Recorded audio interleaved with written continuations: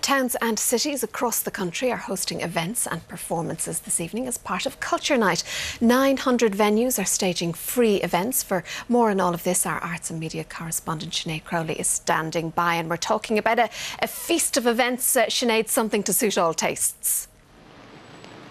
That's right. I'm here in the Merrion Street, Merrion Square area of Dublin, which is one of the city's many cultural quarters.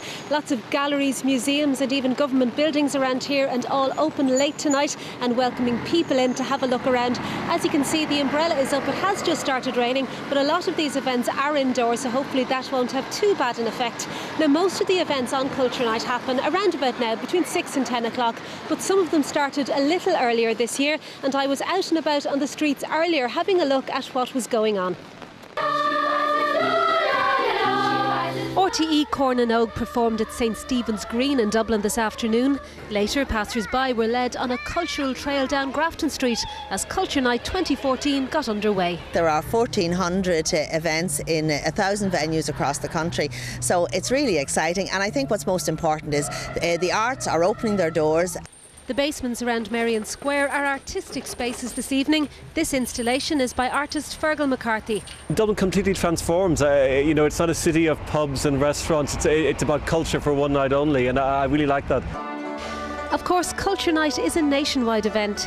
This year, the newly opened Kilkishen Cultural Centre is just one of the County Clare venues taking part, while over 70 events will take place in Limerick, the city of culture, including this exhibition of portraits, normally housed in UL, which will be on digital display tonight at RTE Lyric FM. While in Galway, Sparkplug Callaghan has been on a cultural road trip across the county.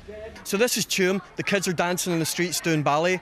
Next we're off to Claregalway to the Educate Together School. Then we're Athenry, the Heritage Centre. Then Oranmore, the library. Then Clarenbridge, the parish hall. We're ending up in Kinvara tonight at 10 o'clock tonight. I think it's great because all the people, we have a lot of different cultures in our school and it's great that we all mix on the same night. All of tonight's activities are free of charge, but some do need to be booked in advance, so make sure you plan ahead to make the most out of the evening.